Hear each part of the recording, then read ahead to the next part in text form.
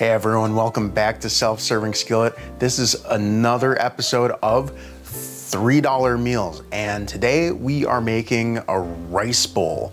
I'm gonna start out with some chicken thighs. Chicken thighs are a pretty inexpensive part of the chicken and almost impossible to overcook. So they're really friendly to people on a budget, to people who want to stick something in the oven and have it be ready whenever. Uh, and they are, in my opinion, the tastiest part of the chicken.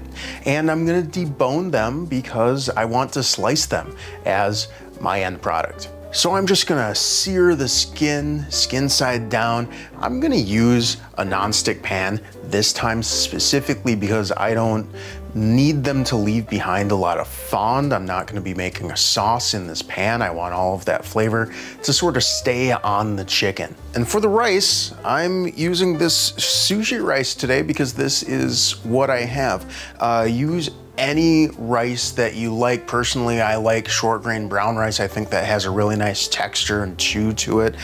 This is what I have today. Standard rice ratio, uh, one part rice, two parts water, but make sure to read your packaging. The manufacturer is gonna tell you how to get the most out of your product because they want you to buy more.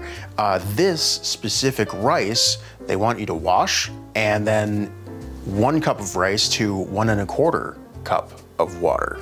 And don't be afraid to wash it either. Uh, you don't need to wash it, but then you're not really gonna get that nice, uh, sort of textured rice, you're gonna end up with something a little more clumpy that has a little more starch in it. And if you really want to, you can save that water and use it as the base of a soup or a stock.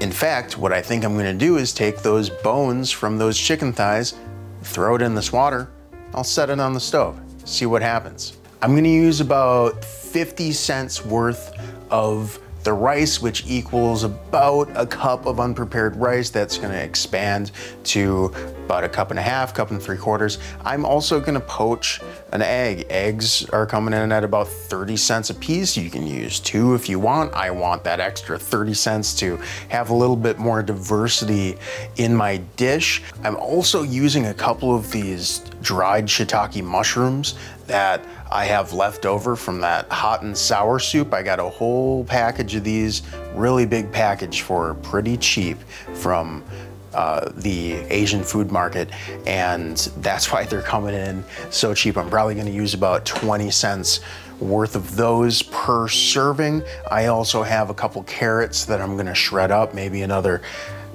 20 cents worth, and a couple spoonfuls of this Giardiniera. I'm using my lacto fermented Giardiniera today.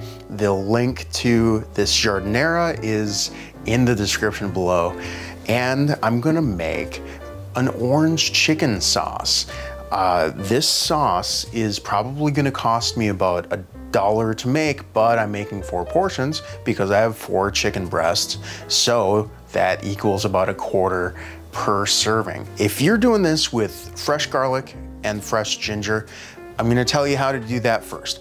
I would mix all of these ingredients together, three big spoons of sugar, a little spoon of cornstarch. This is a quarter cup of rice wine vinegar. You can use white vinegar if you want, white wine vinegar.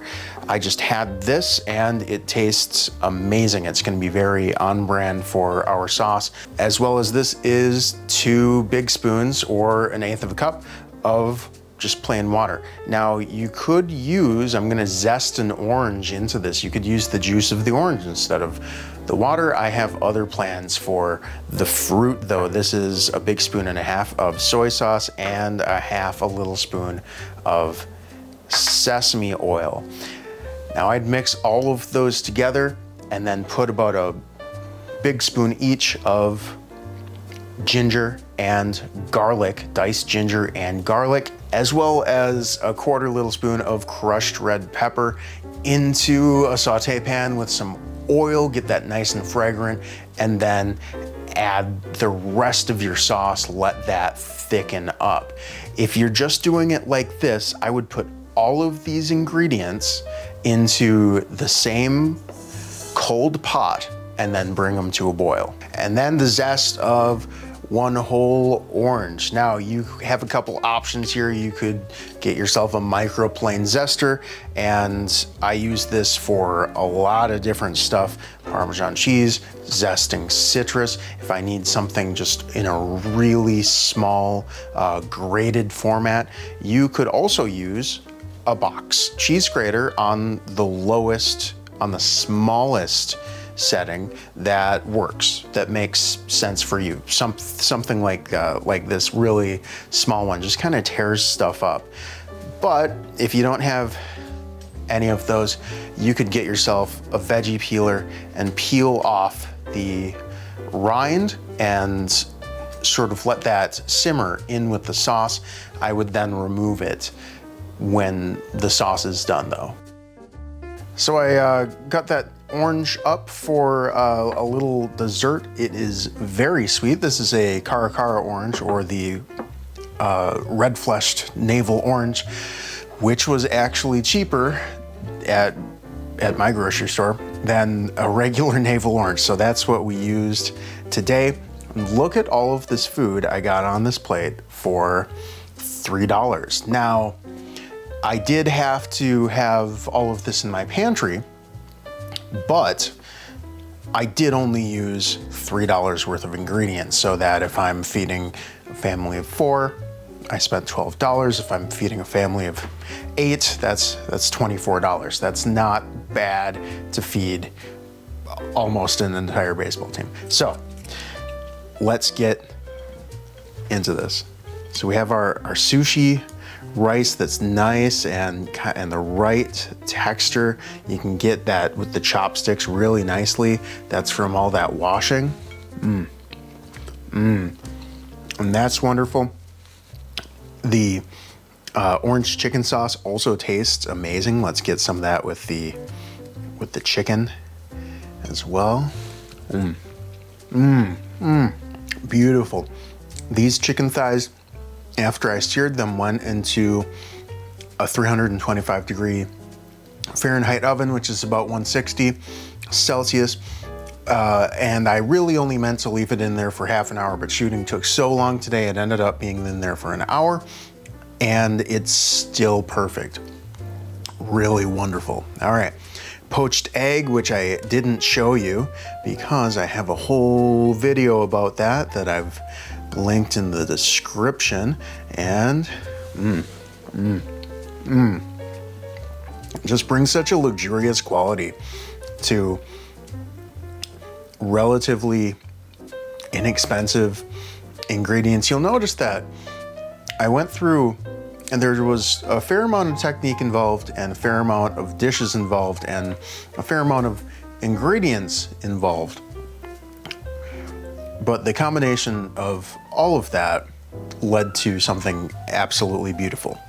So you either spend a little bit of time or you spend a little bit of money. Sometimes you spend both. Mmm. Mmm. Shiitake mushrooms. I did dress the shiitake mushrooms in um, soy sauce and rice wine vinegar just to give them a little pop. They really go well with the sauce here, but the, the thing that I really wanted to try was this lacto fermented Giardiniera, and I went with the lacto fermented today because all of my marinated Giardinieras ha have a very distinct flavor profile. They're kind of made for that Chicago style eatery. This is a little bit more flexible. So you could do something like a kimchi, you could do a sauerkraut, you could even do uh, pickled pickles. Any anything that has a little bit of a uh, little bit of acid, a little bit of salt. Mmm. Mmm. Mm-hmm. And that's what this dish needs. A little bit of acid, a little bit of salt get in the kitchen and make yourself something amazing. If you wanna see the Giardiniera, I have that linked in the description below. Poaching some eggs. If you wanna learn how to poach eggs really nicely, I'll put that right over here. And then the soup that I used these dried shiitake mushrooms for, that's going right here. Mmm.